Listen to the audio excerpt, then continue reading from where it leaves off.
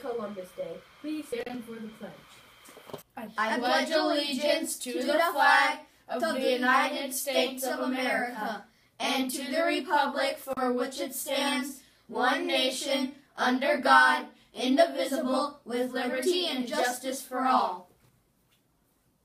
Please remain standing for the IB pledge. Today I pledge to do my best for myself and my school. I will listen and learn, I will contribute and work hard, and I will always treat others with respect. Birthday today to Kylie Hamilton, Alfonso Jim- Jimenez, Richard Sanchez, and the terrific Miss Trollin. Students, have you taken action? Make sure to get your parents to fill out the form on the HHIE E website so that you can be featured on the Otter Morning News. Wednesday is school picture day. These pictures will be the ones that go in the yearbook. Make sure you look good that day. Are you looking for a good book to read? Check this trailer out. It is one of our South Carolina Book Award nominees. Hi, my name is Jackson. This fall, I'm going into the fifth grade. And when I grow up, I want to be an animal scientist. Here are some fun facts about animals. A cheetah can run 70 miles an hour. A headless cockroach can survive for two weeks. And when a horned toad gets mad, it shoots blood from its eyes. I don't know about you, but I think facts are so much better than stories. You can't see a story.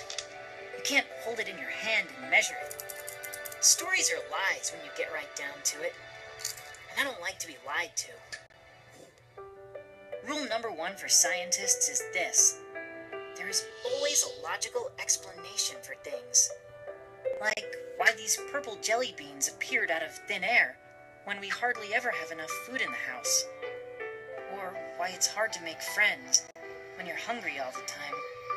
Or where this silly umbrella came from. Or why parents think you don't notice them fighting when the bills come. But most importantly, there must be a logical explanation for why the imaginary friend I invented years ago is now taking a bubble bath in our tub. Crenshaw by Katherine Applegate. You are able to check out Crenshaw on Overdrive and in the Media Center. Now it is time for the joke of the day.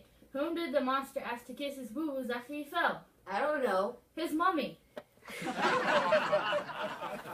Okay. That's all for today's show. I'm Kelvin. And I'm Jake. Have a, Have great, a great day, Otters. You gotta laugh. Okay. Loud, loud and Loud. You gotta be loud and slow. Good morning, honors. Today's Jake. School. I will listen and learn. I will contribute and work hard. George, go!